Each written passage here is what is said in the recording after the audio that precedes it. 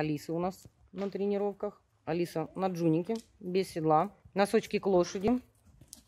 Вот, носочками показывай направление. И вторая Алиса у нас на лунтике. Алиса, двигайтесь, двигайтесь. Поменяй ножку облегчения.